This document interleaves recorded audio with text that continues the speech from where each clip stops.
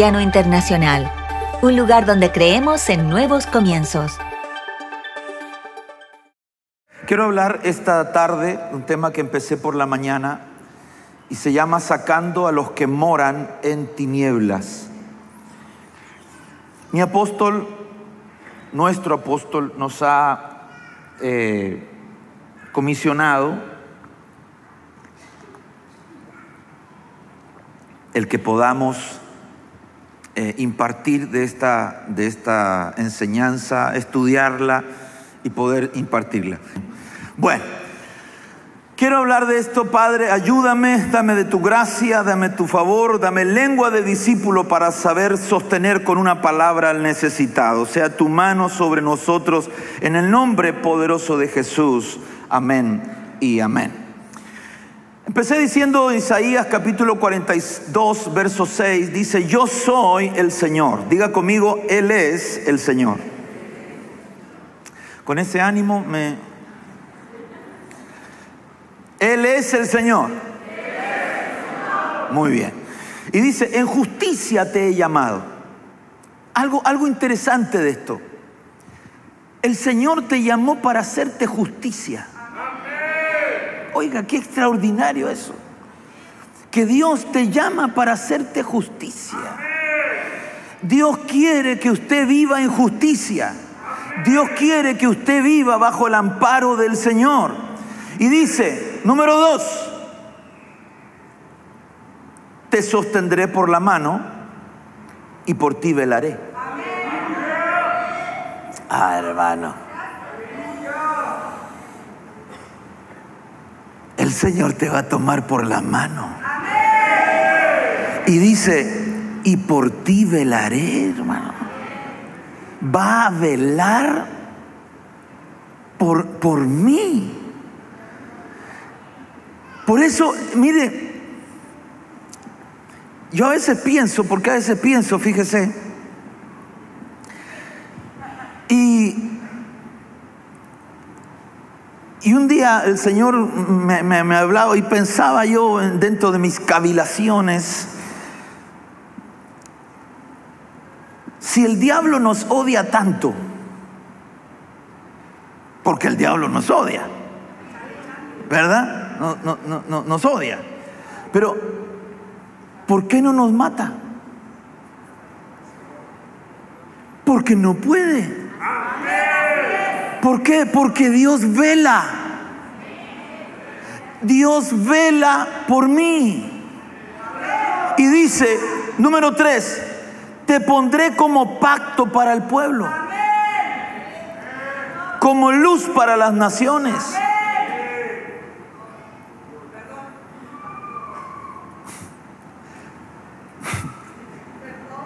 Para que abra los ojos a los ciegos ¿Cuántos dicen amén ahora? Que no le quiten el amén.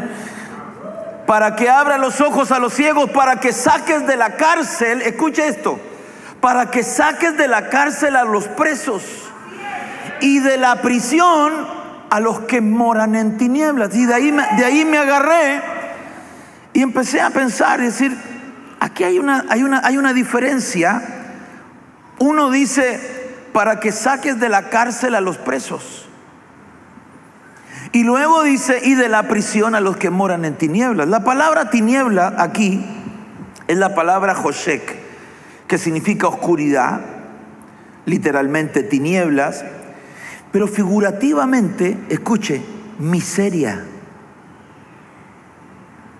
Dios te quiere sacar de la miseria.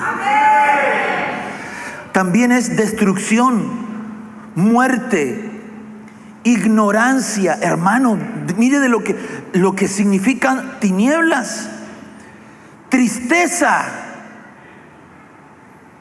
Cuando yo miré dije yo, ahora entiendo, ¿verdad? Maldad, oscuridad, lugar oscuro, sombrío, tenebroso, tiniebla. La tinieblas no solamente es un lugar que con ausencia de luz, sino que también las tinieblas son figurativamente representan miseria, la miseria humana, la destrucción, la muerte, la ignorancia, la tristeza. Dios quiere sacarte de ese lugar de tinieblas. Dios quiere sacarte de ese lugar de oscuridad. Dios quiere quitarte la miseria, Dios quiere quitarte la pobreza, Dios quiere quitarte la ignorancia, Dios quiere quitarte la tristeza, Dios quiere sacarte de ese lugar. Y dice Hebreos 11:36, otros, dice, experimentaron vituperio y azotes. Y a más de esto, y vuelve a mencionar esto, ahora sí en el Nuevo Testamento, prisiones y cárceles. Y me di a la tarea de estudiar un poquito acerca de esto, qué es lo que es una prisión, y aparece como prisión la palabra desmón. Esta palabra desmón significa ligamento o alguna ligadura o el grillete, el grillete de un preso, ese que se ponía en los pies. Figurativamente es un, impedimento o una deshabilidad, deshabilidad. No está habilitado, sino que está deshabilitado. Es una ligadura, una, cadena, una prisión. ¿Qué es lo que el Señor quiere sacarnos? ¿De dónde nos quiere sacar? De toda ligadura, de toda opresión, de toda deshabilitación. Dios te quiere habilitar. Diga conmigo, Dios me habilita para buenas cosas. Hay gente que ha sido habilitado para malas cosas, pero nosotros somos habilitados para buenas cosas. Amén. Dígale al hermano que está al lado, eres un habilitado para la bendición. También encontré la palabra cárcel que es la palabra faluque, o perdón, fulaque. No, no faluque, faluque es otro. Fulaque. Y significa guardia, concretamente un guarda, es la persona que, que cuida o que encarcela. Es literalmente un calabozo, una cárcel, una prisión, un guardia tiene que ver con aquello que nos contiene. Aquello que contiene a una persona atada. Puede ser un lugar, una situación, puede ser una enfermedad, puede ser una, algo que esté de alguna manera atando, atando, encarcelando. Por lo tanto, Dios quiere sacarte de la miseria, sacarte de la tristeza, Dios quiere sacarte de todo azote del enemigo y quiere habilitarte para cosas grandes y hermosas. ¿Cuántos dicen amén? Isaías 42, 16 dice, entendiendo esto, lo que acabo de decirle, dice, conduciré a los ciegos por un camino que no conocen. Perdóneme, un ciego, una persona ciega, tiende a aprender su rutina de vida. Aquí está un mueble, tengo de doblar. Aquí está el sillón, tengo de doblar. Estos pasos para acá y ya sé que me voy a encontrar con el baño o con el dormitorio. Aprende su rutina. Pero el Señor le dice, conduciré a los ciegos por un camino que no conocen. Eh, diga conmigo, eso es peligroso, pastor. Gracias, hermano. Por sendas que no conocen los guiaré. Cambiaré delante de ellos las tinieblas en luz. Y lo escabroso en llanura. Estas cosas haré. Diga conmigo, Él las hará y no las dejaré sin hacer. Él lo va a hacer. Lo que parece escabroso, lo que parece, hermano, eh, abrupto, lo que parece de alguna manera que es un, lugar, hermano, eh, en tinieblas, Él lo va a transformar.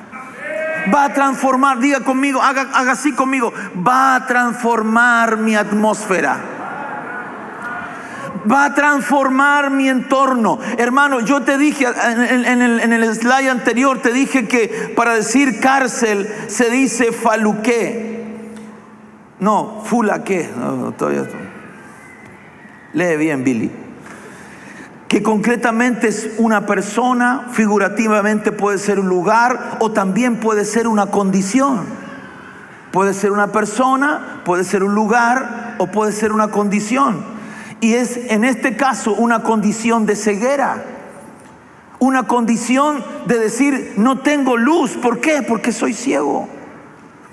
Pero cuánta gente, hermano, camina en esta tierra y están ciegos. ¿A cuántos conocemos que no conocen a Cristo?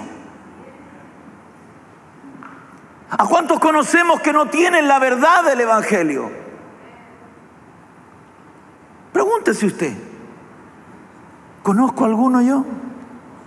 Claro que conocemos.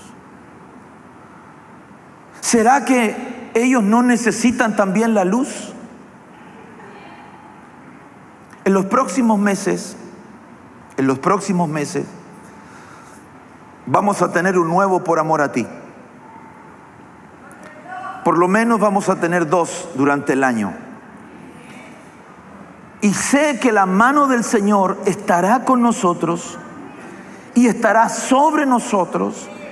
Y vamos a entender el propósito, por qué, por qué Dios nos llamó. Si yo tengo luz, ¿por qué voy a impedir a otro que venga la luz de Cristo?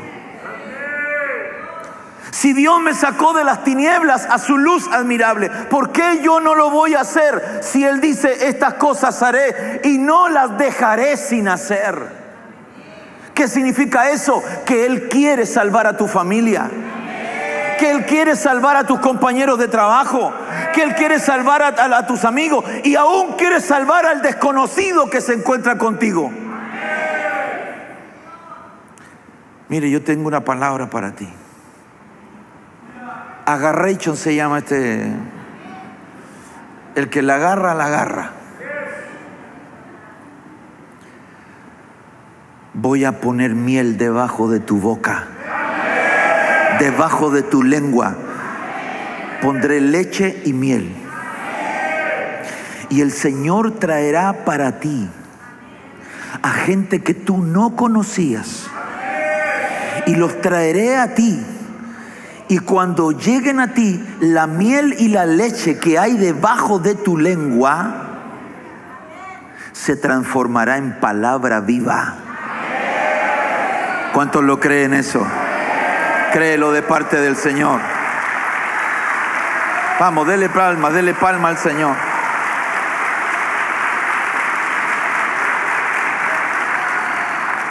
Si me pueden traer agua, agua, H2O. De preferencia heladita. Dos hielos. No, no, ya, ya agüita nomás, al tiempo. Isaías 29, 18, en aquel día los sordos, perdón, ¿quiénes eran los que estaban aquí? Los ciegos. ¿Y ahora? Los sordos oirán las palabras de un libro. ¿De qué libro? Su palabra. Y desde la oscuridad y desde las tinieblas los ojos de los ciegos verán. Los sordos oirán, pero si los sordos no oyen, Dios va a destapar oídos. Otra declaración para ti. Hoy, hoy, hoy estamos proféticos, hoy estamos proféticos.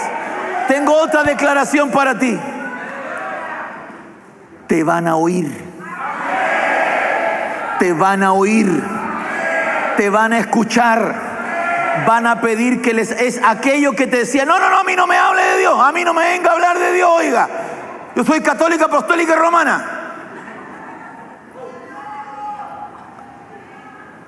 No venga aquí a hablar de... Soy testigo de Jehová. Usted,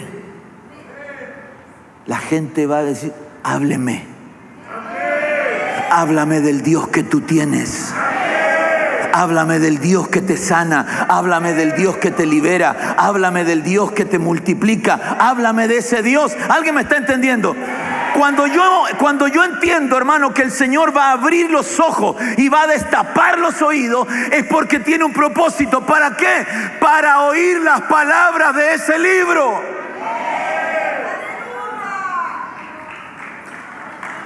Dale palmas al Señor.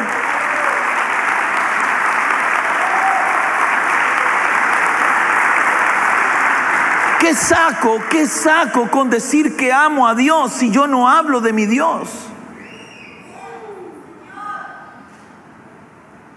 Gente viene y dice, yo amo al Señor, pero no hace nada por su Señor. Si me amáis, guardad mis mandamientos.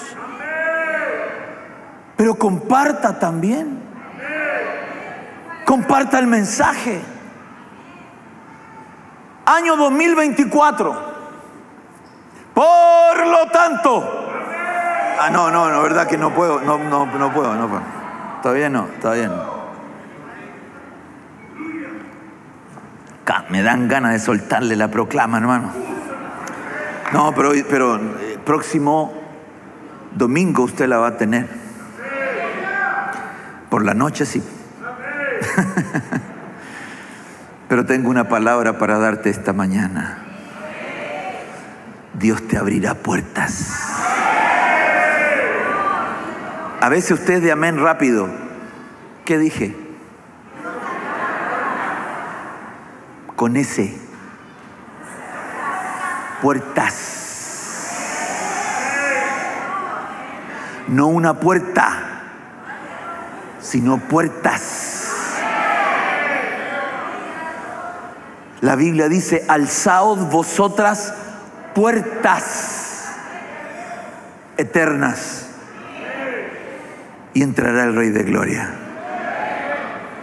¿Quién es este Rey de Gloria? Jehová de los ejércitos. Dios está interesado en cambiar. Gracias hermana, gracias.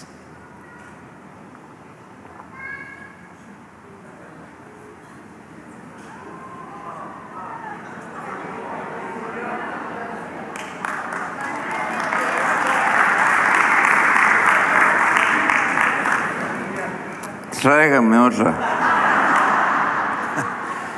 De la misma.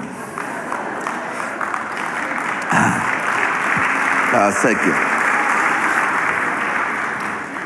El Señor te va a cambiar. ¿Por qué estaba hablando? Y, y me gustó mucho lo que dijo el hermano Giovanni. Un cambio de estación. Porque va a cambiar al que tiene oscuridad en sus ojos y lo trasladará a la luz. Va a sacar al que tiene oscuridad en los oídos, ausencia de la palabra de Dios y lo va a trasladar. Dios tiene cambios, es un tiempo de cambios. Estamos viviendo un tiempo de cambios. Este cambio, Isaías 42, verso 22, mas este es un pueblo saqueado y despojado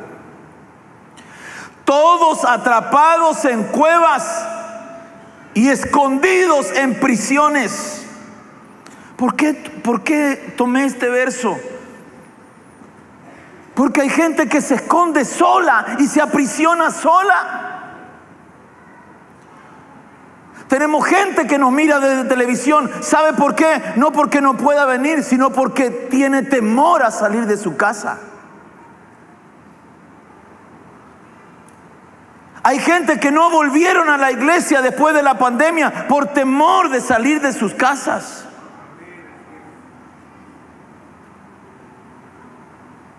La angustia, el dolor, la depresión, la tristeza, la fatiga, la ansiedad El Señor me llevó a ministrar a los Estados Unidos y hablé acerca de los pensamientos. cómo el 80% de nuestros pensamientos son negativos. Pero que Dios tiene pensamientos de bien y no de mal. Dios tiene palabras de bendición para ti. Dios tiene palabras de esperanza. Dios tiene palabras de vida. Gente que está atrapada en cuevas, escondido en prisiones, se han convertido en presa sin que nadie los libre y en despojo sin que nadie diga, devuélvelos. Pero yo vengo hoy, esta mañana, tarde ya, vengo a decirle, hermano, a todo espíritu, a toda, a toda potestad, devuélvelos, devuélvelos, porque no te pertenecen. Devuélvelo, devuelve al angustiado, devuelve al fatigado, devuelve al afligido, devuelve al que está deprimido, devuélvelo, porque no le pertenecen. El Señor pagó un precio muy alto por ellos. Vamos, dele palmas al Señor. Aleluya.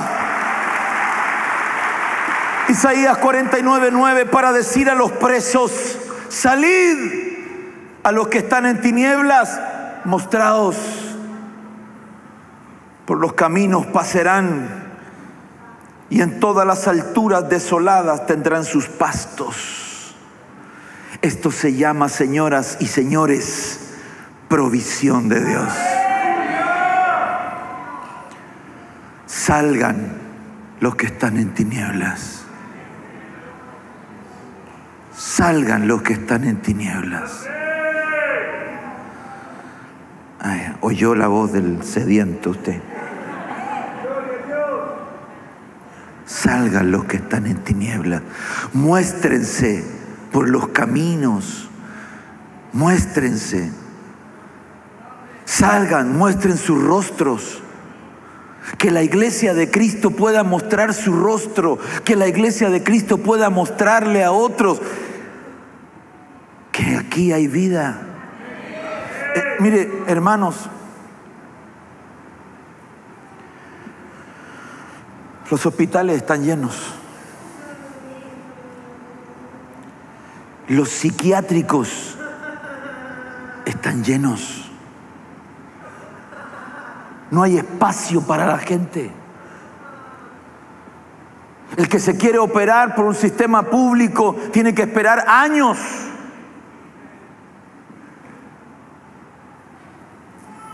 Hay listas de espera de miles.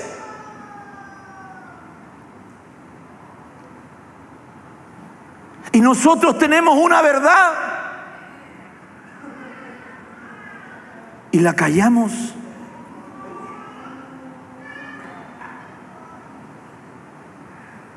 ¿Cómo va a ser que nosotros teniendo una palabra de Dios nos quedemos en silencio?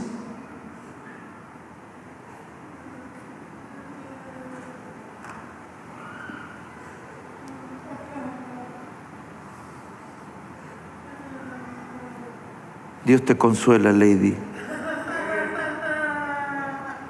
Dios te consuela, hijita.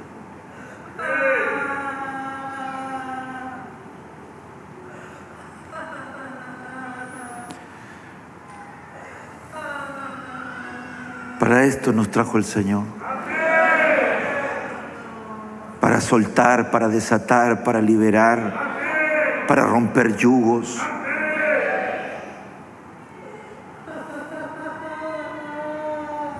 Isaías 61.1 dice, el Espíritu del Señor Dios está sobre mí. Porque me ha ungido, número uno, me ungió el Señor. ¿Para qué? Para traer buenas nuevas a los afligidos. ¿Cómo? ¿Cómo yo me voy a quedar callado si el Señor tiene una palabra en mi boca? Pero es mi función, mi función es predicar, mi función es ministrar. Pero qué importante es que yo pueda desatar también los lomos de la gente para que esos lomos de reyes vayan y también hablen a los otros y para que puedan compartir el mensaje de Jesucristo. ¿Sabe? Usted conoce gente. Usted tiene amigos que están en aflicción. Usted tiene gente y quizá usted mismo está en prisiones de oscuridad, pero la Biblia dice en Isaías 61:1, el Espíritu del Señor, Dios, está sobre mí. Y lo primero que me ha hecho es que me unge para traer buenas nuevas a los afligidos. Y número dos, me envía para vendar a los quebrantados de corazón, para proclamar libertad a los cautivos y liberación de los prisioneros. Para eso nos llamó el Señor. Ponga su manito en su cabeza. Diga conmigo, el Señor me ungió para predicar el Evangelio. Él me ha enviado para vendar al quebrantado, para liberar al que está preso, para proclamar libertad al cautivo. Él me ungió, Él me envió. A los que unge, escúcheme esto, a los que unge, Él envía.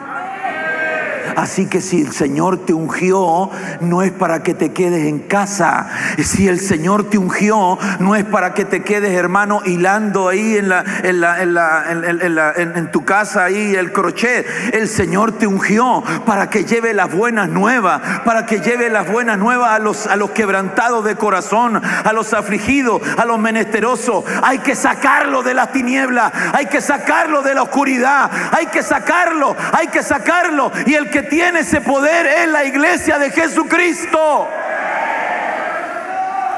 Vamos, dele palmas al Señor.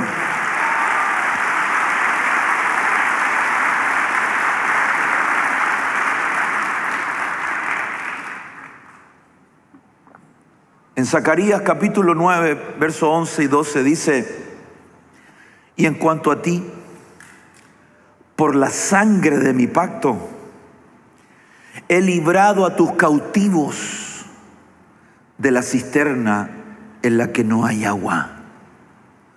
¿Se recuerda quién echaron en una cisterna sin agua? A José. Muy bien. Volved a la fortaleza, oh cautivos de la esperanza. Hoy mismo anuncio, escuche esto, hermano, que el doble te restituiré. Hoy mismo anuncio esto yo, que el doble te restituirá el Señor. Diga conmigo, doble porción. Doble porción para mí. Doble porción para mi casa escúcheme esto, Dios te va a sorprender. Escúchame, Sandrita, te miré y el Señor me habló. Dios te va a sorprender cinco veces más. La doble porción no significa necesariamente el doble, significa que Dios aumentará, significa que Dios bendecirá abundantemente. Hay gente que va a recibir doble porción. La doble porción es la porción del primogénito. La primogénito que dice, te daré lo mejor del trigo, lo mejor, la grosura. Te voy a dar la bendición del primero. Te voy a dar el rocío del cielo para que tu tierra sea fértil. Te voy a dar lluvia para que no te falte, para que no seas escaso. Te voy a dar frutos. Aleluya. Te voy a dar de lo bueno, de lo maravilloso que tengo para ti. Te voy a dar gracia, misericordia. Voy a poner en tu boca un cántico nuevo. Voy a hacer de ti un hombre y una mujer nueva. Vas a tener dones espirituales. Vas a recibir lengua, revelación de lengua, interpretación de lengua. Vas a tener don de ciencia, de sabiduría. Ay, Samaya. Oh, brava, kende. Eh, la gloria del Señor está sobre su pueblo. Vamos, dele palmas, dele palmas, dele palmas.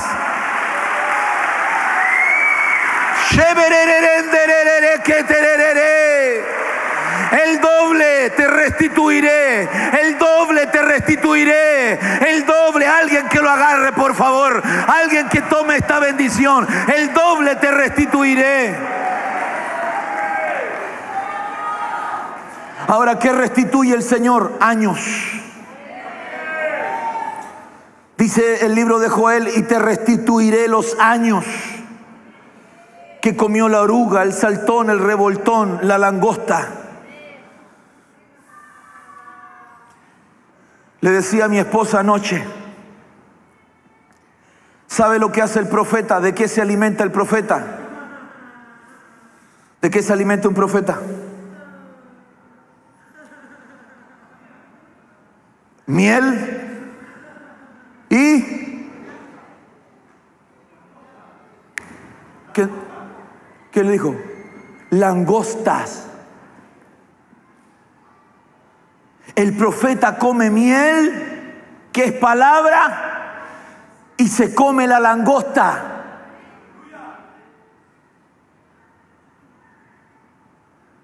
No hay ataque de pobreza contra una iglesia profética. Está escuchando? Tú me estás oyendo.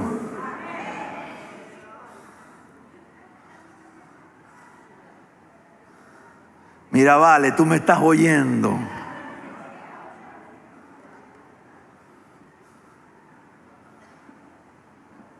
El profeta come langostas. La unción profética destruye al que destruye. La unción profética destruye toda obra que, hermano amado, quiera venir a, destruir. Escuche esto, pero alguien dirá, ¿verdad? Porque me lo dijo mi esposa, pero la langosta también es el ejército de Dios. Esta está en el suelo y está...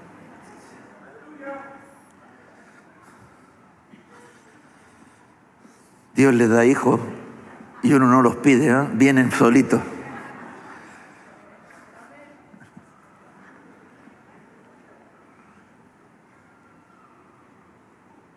El destructor, el destructor, cuando Israel va a salir de Egipto, ¿a quién tenía que matar el destructor?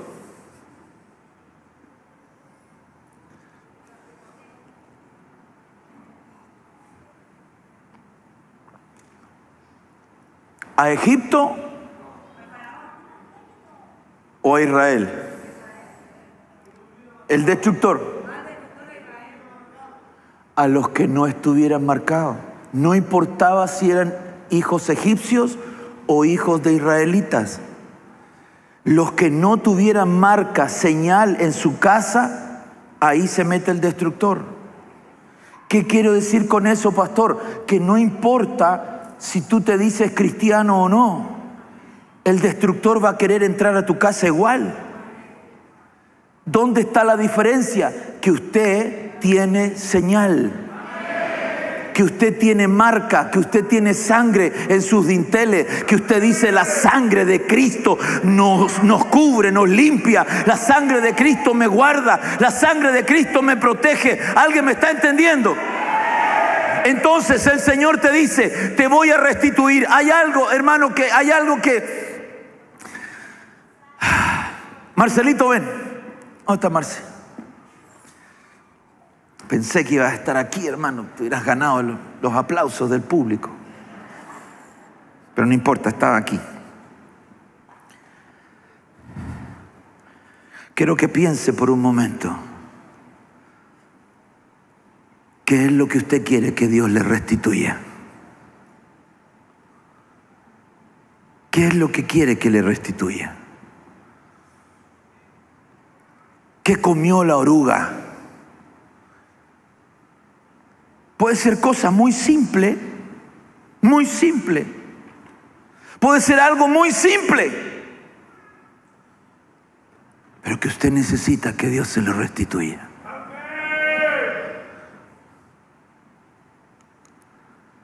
Por ejemplo, yo comentaba en la mañana de mi hermano Sergio Fierro, el anciano. Él sirviendo al Señor en las cárceles. Una mañana él fue a servir al Señor, a predicarle a los presos esto que estamos hablando. Y afuera le robaron su camión. Su instrumento de trabajo, con el que lleva provisión a su casa.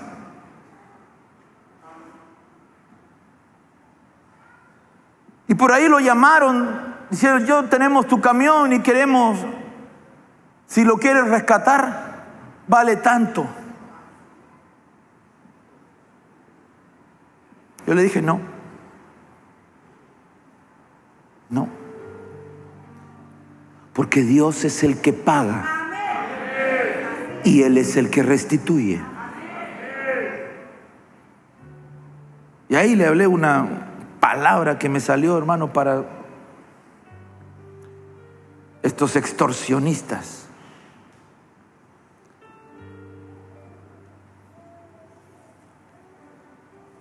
Y él podría gritar, ¿qué quiere que restituya? Mi camión.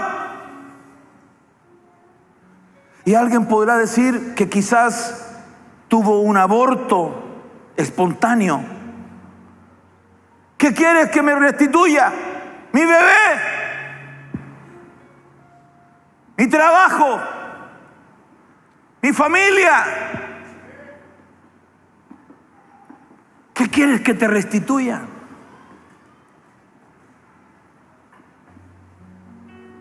Que se lo digas al Señor. La salud. Restitúyeme la salud, Señor. Quiero dejar de tomar pastillas para dormir, para levantarme, para mantenerme. Restitúyeme la tiroides, Señor. Ve, aquí tengo un amén. Señor, restitúyeme. Tengo ovario poliquístico, me dijeron. Restitúyeme.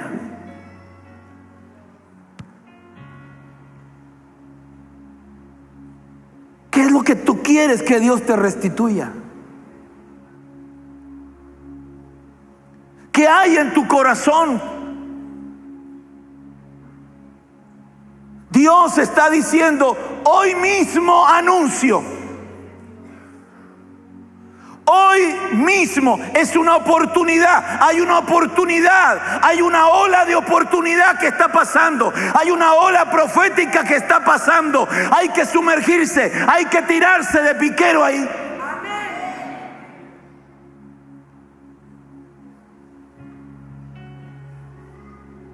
¿Qué quieres que te restituyan?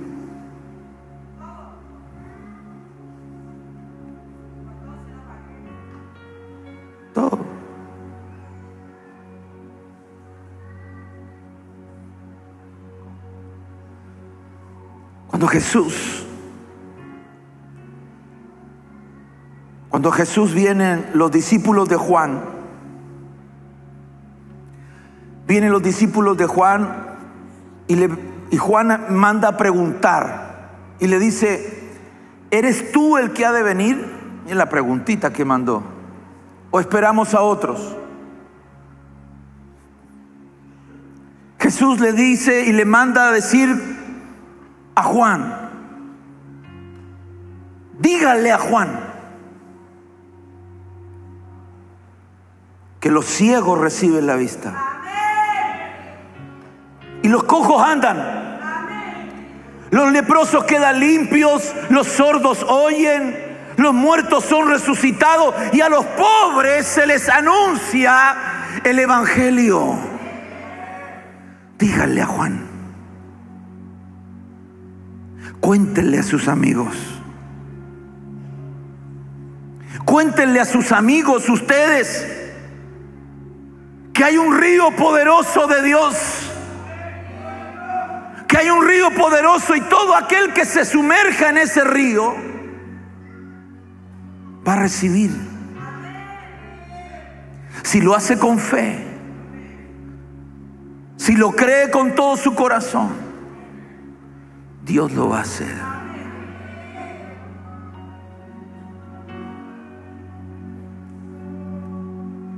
quieres que te haga.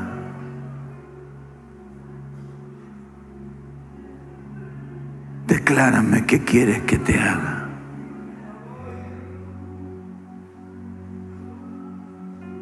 ¿Qué quieres que te restituya?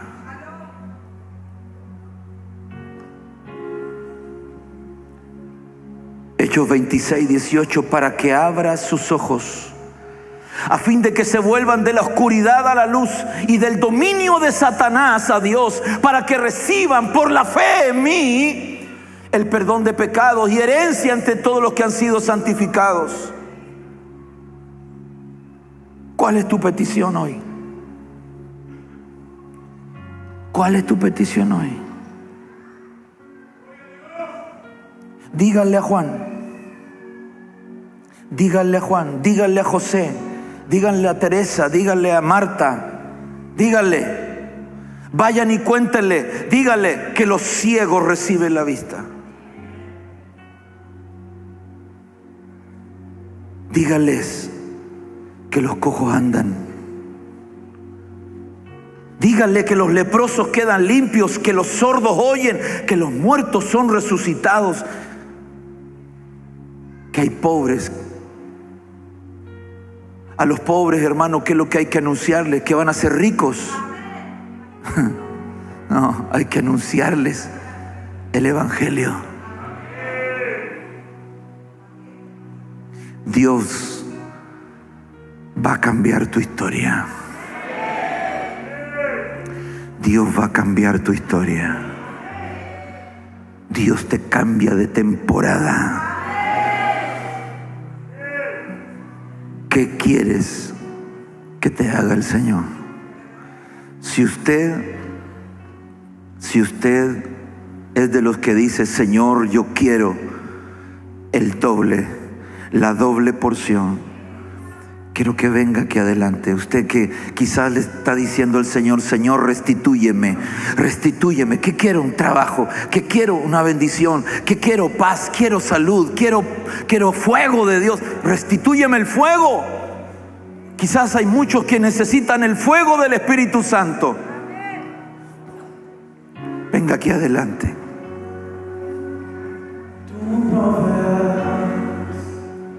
Tú Cristo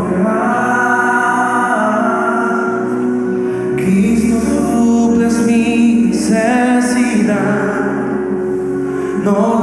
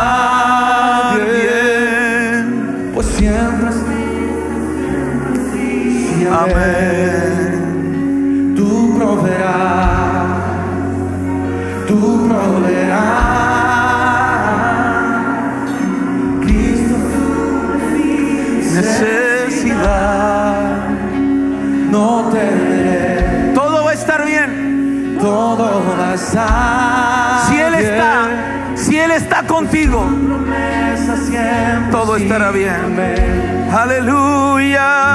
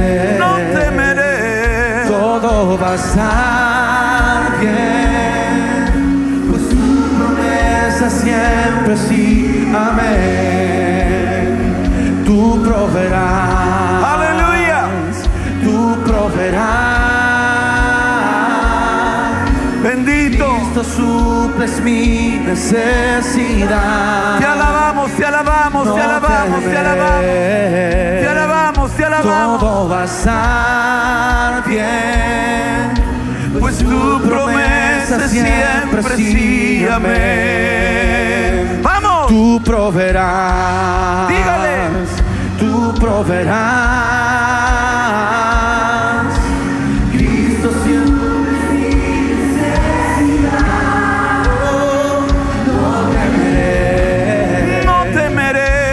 Todo va a estar bien, pues tu promesa siempre sí, amén. Corazón, no te afanes, tu esperanza es firme. Aleluya. Alma mía, no calles, el resucitó.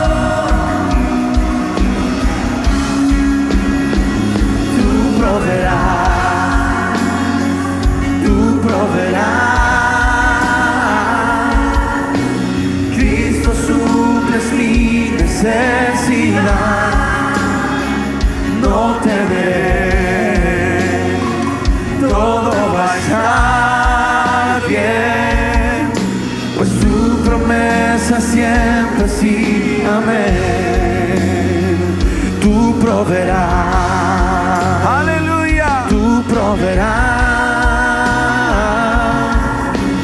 Cristo suples mi necesidad, no temeré, todo va a estar bien, pues tu promesa siempre sí, amén. Dígalo una vez más. Tú proveerás. Tú proveerás, Tú proveerás.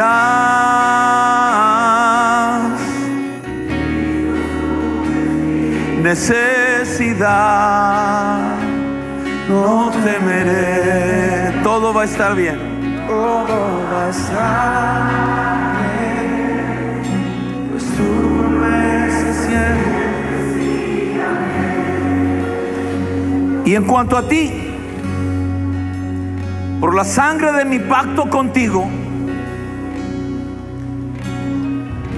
he librado a tus cautivos de la cisterna en la que no hay agua. Vuelvan a la fortaleza, cautivos de la esperanza, ya no de las tinieblas, ya no del dolor, ya no de la miseria, ya no del fracaso. Ahora vuelvan, porque hoy mismo los anuncio que el doble te restituiré. Que el doble te restituiré. Que traeré para ti bendición hasta que sobreabunde que la gloria del Señor estará sobre sus vidas.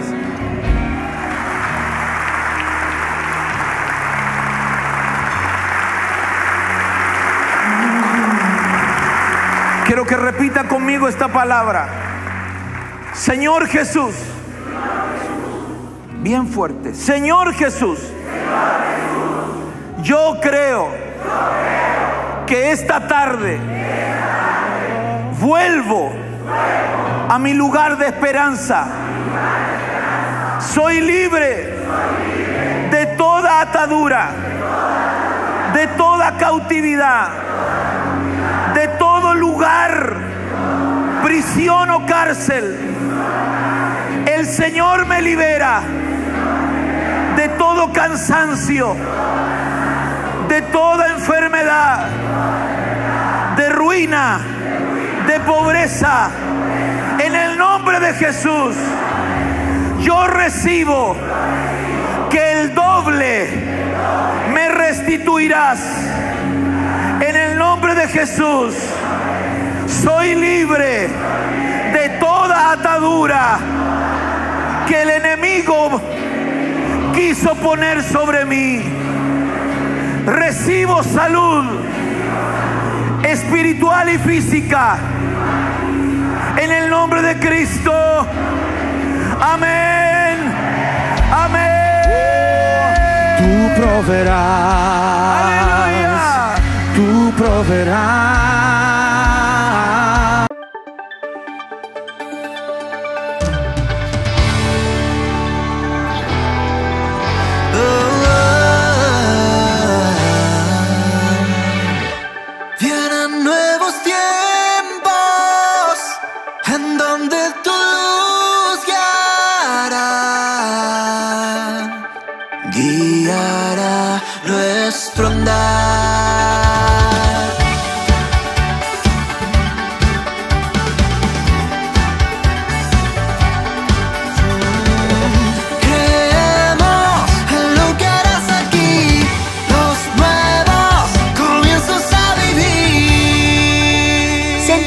Internacional.